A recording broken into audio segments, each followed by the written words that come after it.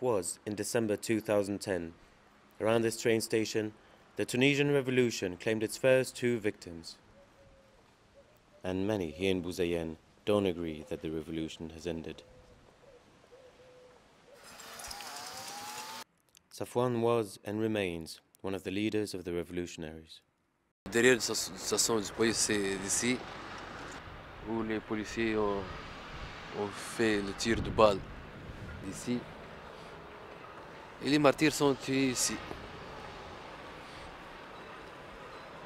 ضرب أول واحد اللي هو شوقي حيدري ضرب بالكرتوش جاء محمد عماري باش يجبد فيه ديريكت تم قنصه برصاصتين رصاصة رصاصة هنا ورصاصة أخرى في البطن Safwan explains that Bouzayen's youth often use graffiti and drawings to protest.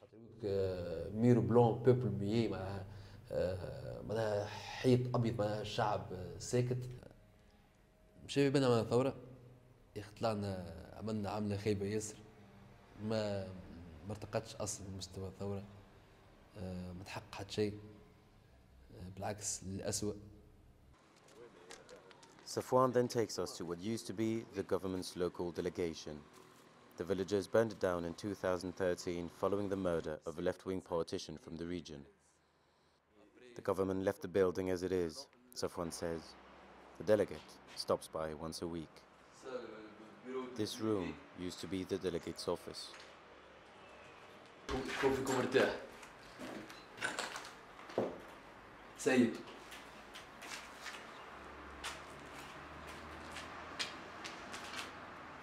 Safwan stands accused of leading the attack. He says he wasn't even there. He would have liked to, he adds.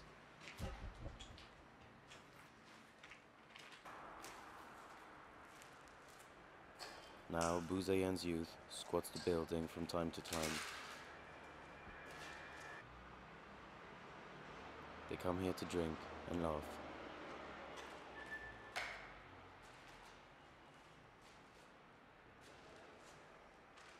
Four years after the revolution, Safwan and his friends are hoping for jobs.